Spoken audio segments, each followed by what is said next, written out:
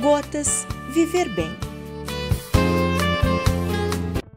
Olá, eu sou Ana Paula Pingarilho, eu sou psicóloga clínica e hoje eu trouxe um tema para que a gente reflita, que é a generosidade, que é uma grande virtude humana, é um ato de bondade e está sempre relacionada à doação.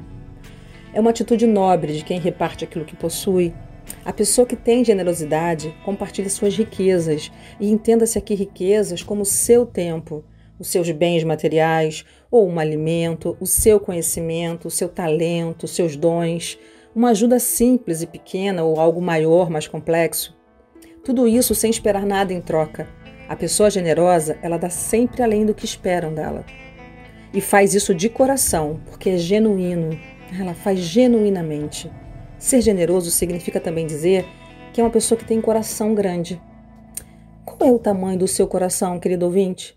O quanto você tem permitido que o seu coração cresça, fique mais robusto na bondade, na generosidade. Você tem praticado? Pensa sobre isso, é o meu convite para você de hoje. Essa virtude, ela faz com que você compartilhe o que você tem, na certeza de que nada lhe faltará. Porque ser generoso é estar conectado com a sua alma, algo da sua essência, que é vida, que é amor, que é puro amor. E uma outra coisa importante que eu gostaria de compartilhar, que as pessoas confundem um pouco, que é ser generoso e ser gentil. Então, atenção à diferença. Ser gentil pode ser algo momentâneo, pode ser um tipo de simpatia, de educação.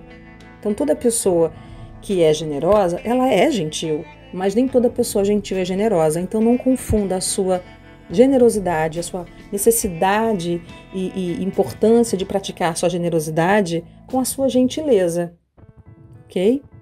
E como eu disse no início, a generosidade é uma virtude humana, portanto, todos nós possuímos. O que precisamos fazer, talvez, é praticar, é dar espaço para isso.